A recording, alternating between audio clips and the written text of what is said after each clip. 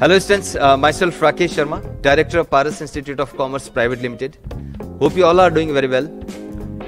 And as we all know that, most of the students have completed their examinations and now they are a bit worried about their career options. And even their parents are also confused. So regarding this, Paras Institute is organizing a webinar on 5th of June 2022. Time will be 12 pm. In that webinar, we will try to explore all the career opportunities after class 12th. What we have seen, the distance is to take guidance from their seniors, their brothers, their sisters, and their neighbors. But you know what?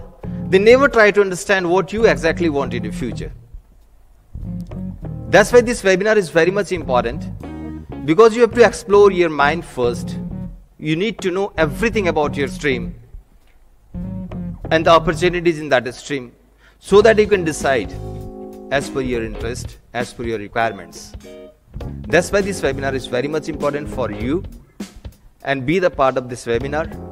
This will help you to take the decisions that what you can do after class 12. So be the part of this webinar and thank you so much. Thank you.